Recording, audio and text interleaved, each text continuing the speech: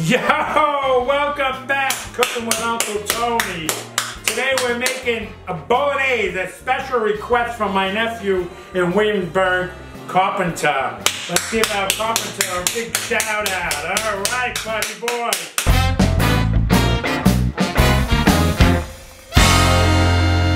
Our ingredients today for bolognese is onions, garlic, beef chop meat, sausage chop meat, and fresh tomato sauce and basilico. In the pot, turn the gas on high. And we're gonna add our garlic and onions. A nice hot oil.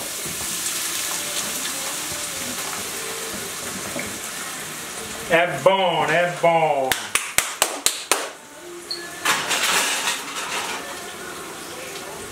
Beautiful that garlic and olive oil and onions is sauteing.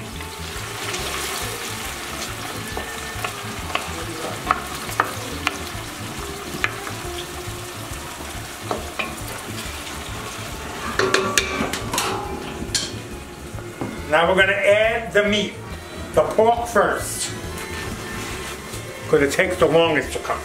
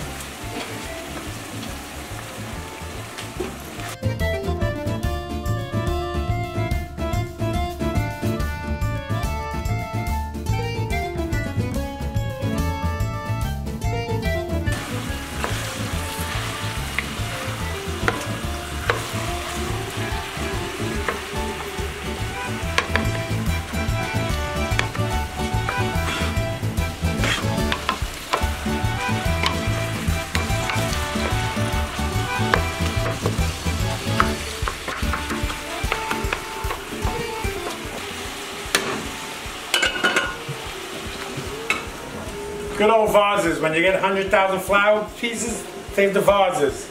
They're nice to put the utensils in.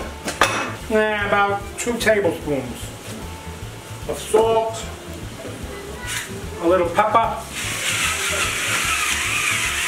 I like fresh ground pepper.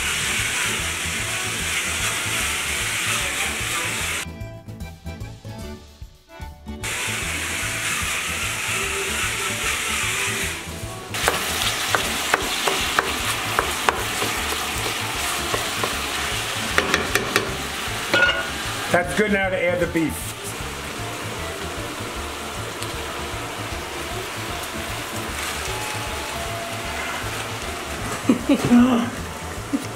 Who can that be?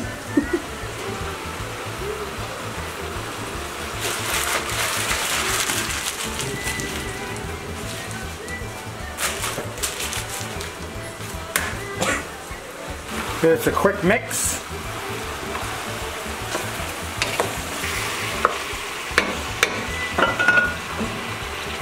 Beautiful. I don't know how to cook anything small.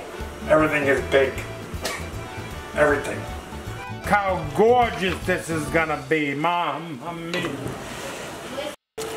Perfect. Now we'll add the sauce.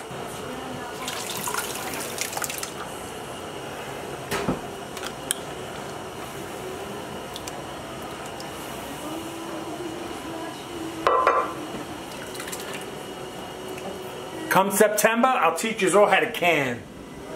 In September, we'll can together. Really simple.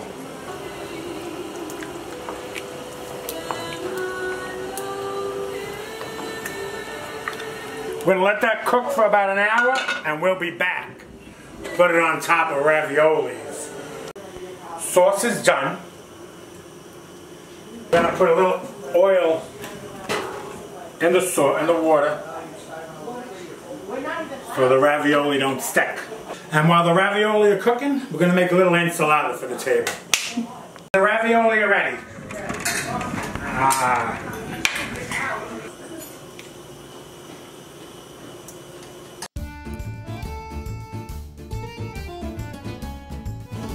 And there's our chutney sauce, our bolognese, and ravioli.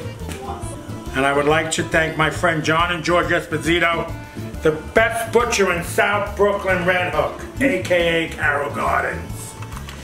Bon appetito! We hope that 160 ravioli is going to us. When the moon hits your eye like a big pizza pie, that's amore. When the world seems to shine like you've had too much wine, that's amore.